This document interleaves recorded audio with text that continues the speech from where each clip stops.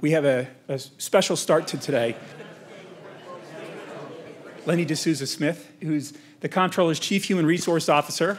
Today, she's going to sing the national anthem for us. This is the first time that we've done this, and I, would ask everybody to stand and to face the uh, flag.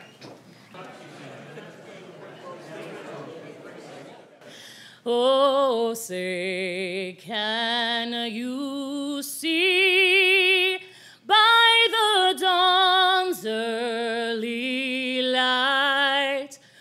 what so proudly we hail at the twilight's last gleaming, whose broad stripes and bright stars through the perilous fight o'er the ramparts we watched were so careful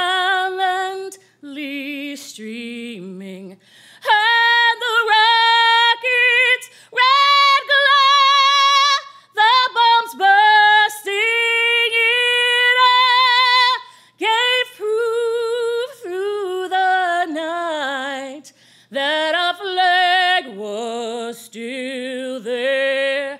Oh, say, does that star spangled banner?